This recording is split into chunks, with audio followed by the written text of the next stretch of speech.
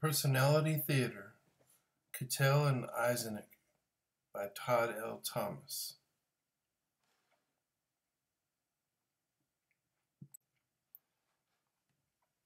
The personality of the typical individual is a product or extension of a person's understanding of their personal identity. It can set boundaries and make new ones in our pursuit of happiness in this life. While having its effects on our life experience, it can also change, even drastically, with spiritual change. Personality is an important component that spells out the life we live. It can be an asset and it can be a hindrance. Two masters of personality theory are Hans J. Eysenck, known for his critical quote concerning Freud what is new in his theories is not true, and what is true in his theories is not new. And Raymond B. Cattell, known for the quote, personality is that which permits a prediction of what a person will do in a given situation.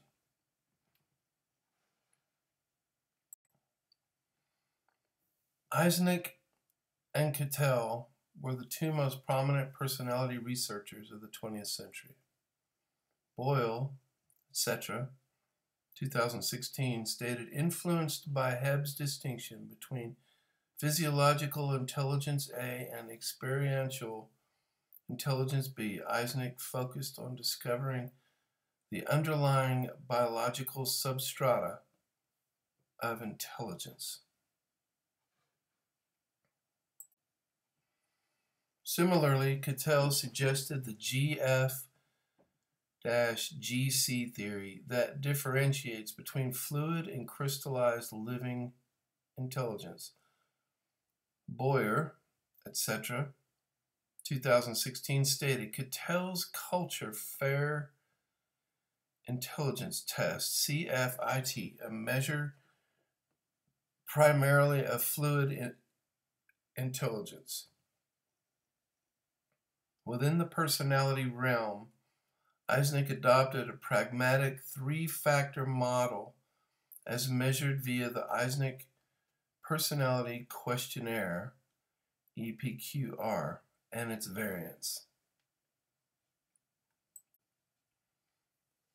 The author added that recent molecular genetics findings provide empirical confirmation of Eysenck and Cattell's positions on the biological underpinnings of personality and ability traits, allowing an improved understanding of the causes of individual differences.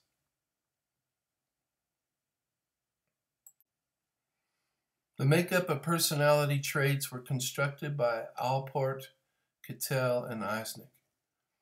Boyle 2016 stated personality trait research has stimulated much controversy as to the optimal measurement framework, the causal effects of traits on behavior, as well as the influences of socio-cultural factors on traits. Boyd et al., etc., 2008. The paradigm of personality traits has been accepted due to a consistency in behaviors and responsiveness to stimuli. Cattell and Eysenck were listed among the top most highly cited 20th century psychologists among peer reviewed literature and journals. Haggbloom, etc., 2002, page 142. Debates about factor analytic methodology have often served to obscure the fact that both Cattell and Eysenck were in much agreement in relation to their taxa, taxon, taxonomic findings into human personality structure.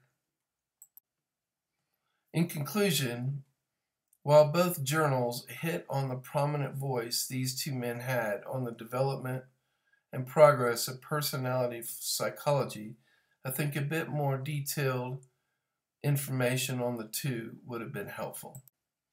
I would like to have heard of their life influences, their perspective on the development of the personality, their views of human nature overall, and most of all, more on their overall influence on the field of psychology.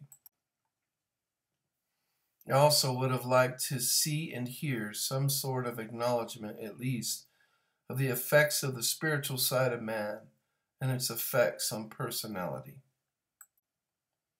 Galatians 2:20 says, "We who believe are crucified with Christ and no longer live, but Christ lives in and through us." Personality can change spiritually for the better. I know this by personal experience. What takes place in the spirit can have a lasting effect on the personality of a believer for life, for eternal life.